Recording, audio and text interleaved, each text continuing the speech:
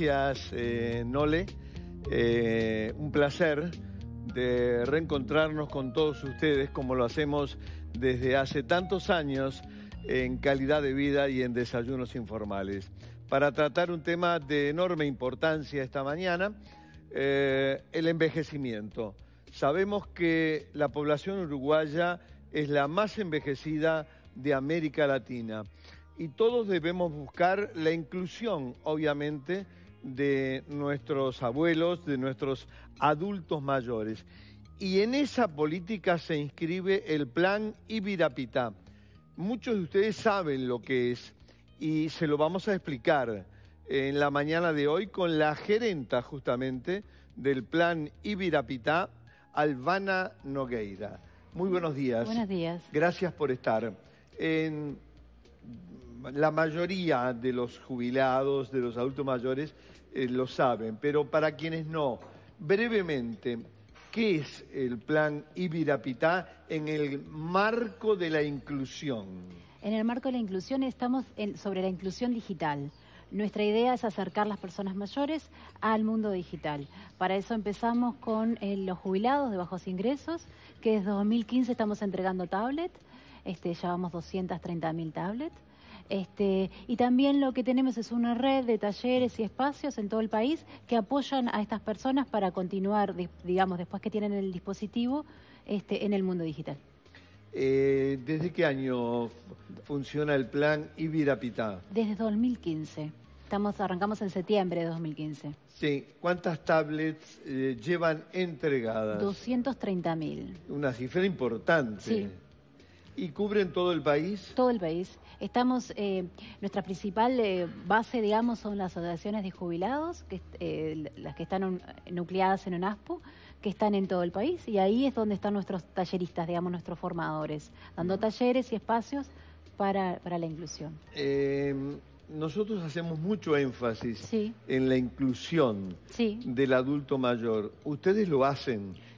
Vamos vamos en la, en la, misma dirección todos los días. Todos los días. Todos los días estamos en eso, o sea, eh, en, los talleres, en los espacios, se genera ese vínculo entre las personas que generan una inclusión incluso social, empezamos a, salir por ahí, este, y también generamos como, este, una vez que las personas mayores pueden utilizar la tablet, se sienten seguras, empiezan como a generar como autoestima, este, sea una cosa muy linda. Eh, y otro de los aspectos en los que Desayunos y Calidad han puesto siempre muchísimo énfasis es el envejecimiento activo. Exacto. Y, ustedes van exactamente en esa línea. En, esa línea, Porque tomamos, Tomamos ese como paraguas, como nuestro contexto, el envejecimiento activo, y ahí empezamos a desarrollar actividades. La que tenemos ahora en mente este, son eh, contenidos. Nosotros empezamos a comprar o desarrollar contenidos en varias líneas este, y la idea es eh, lanzarlos mañana. Eh, ¿Te cuento las líneas? ¿Cuáles son eh, las principales líneas antes de hablar del lanzamiento de mañana, que es de enorme importancia? Las que tienen hoy los, los pasivos, los jubilados, en las tablets. Eh, tenemos como tres sectores, la parte de, de, estimulación cognitiva, que digamos sería la gimnasia del cerebro, y ahí tenemos dos aplicaciones, estimulación cognitiva se llama, y una de recuerdos, que lo que hace son ejercicios de memoria este, para, para bueno, estimular y facilitar. Mm. El recuerdos tiene además, este, engancha con la memoria y con eventos históricos uruguayos, ¿no? Entonces juega, por ejemplo, un memory con presidentes, ese mm. tipo de cosas. Bien. Después tenemos... La, gimnasia... La gimnasia, que es lo que se está viendo. ¿Qué es lo que estamos viendo? La gimnasia física. La, gimnasia física. Hicimos una serie de 10 videos con la Secretaría Nacional de Deporte, que ellos eh, lo que hacen es gimnasia en... Eh, presencial, bueno, nosotros lo llevamos a lo virtual, este, y son videos cortos que eh, previenen la caída o trabajan en el equilibrio, el mm. estiramiento. Y eh, después tenemos la parte cultural. Cultural. Y ahí tenemos este, videos.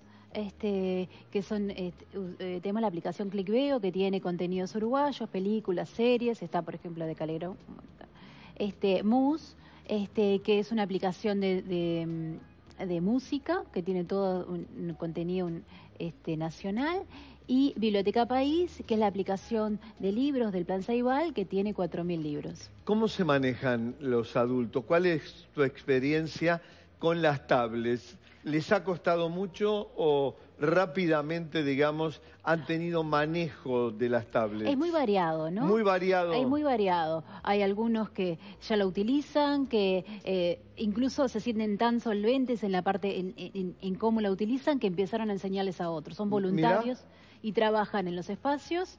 Este, enseñándoles a otros. Y bueno, y hay otros que eh, tienen un poquito más de miedos o temores y los vamos acompañando en esto.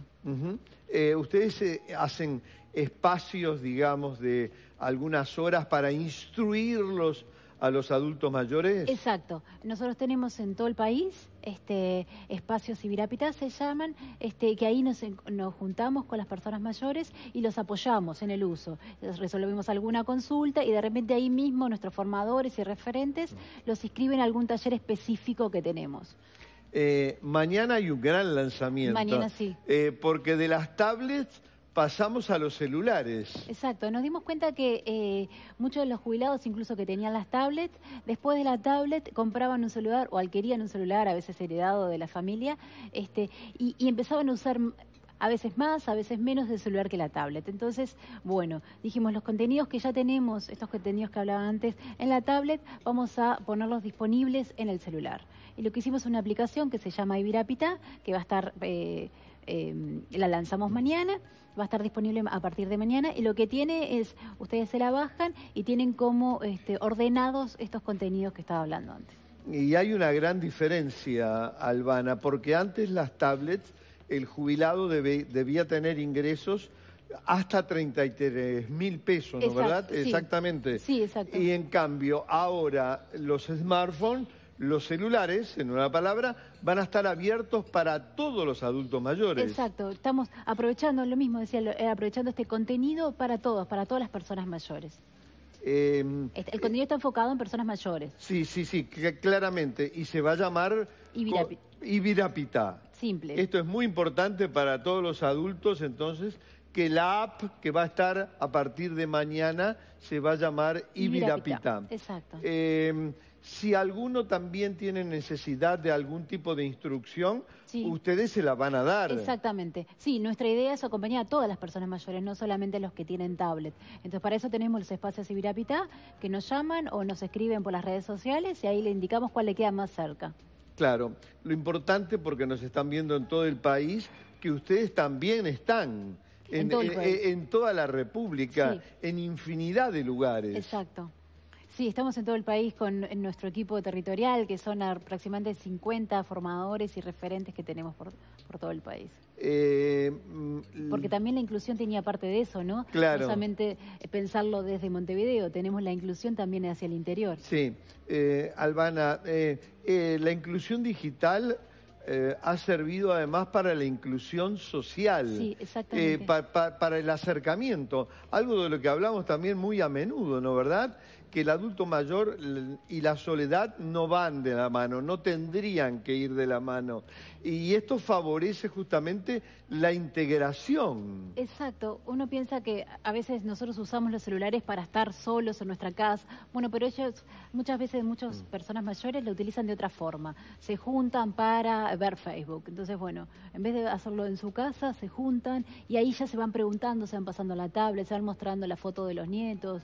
Se genera la inclusión social. Muy bien. Eh, Albana, felicitaciones. Bueno, gracias. Al Plan Ibirapitá y al gran lanzamiento de mañana de esta aplicación que va a estar en los celulares abierta para todos los adultos mayores en todo el país. Bueno, muchas gracias. Un placer, realmente. Nosotros damos vuelta a la página y nos vamos.